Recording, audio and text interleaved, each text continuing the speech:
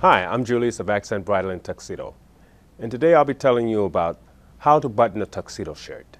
How to button a tuxedo shirt. Well, I think I'll start with the obvious. Yes, there are buttons on a tuxedo shirt.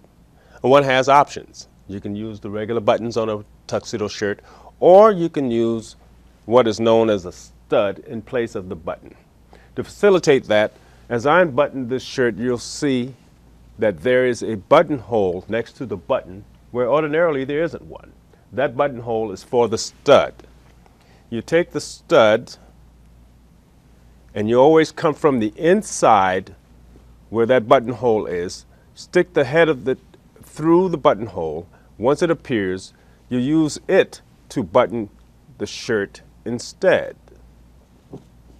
And when you're done, as you can see, the, the button that came onto the shirt now disappears, and the only button you do see is the stud. And that is how you button a tuxedo shirt. I'm Julius of Accent Bridal and Tuxedo. Have fun at your formal event.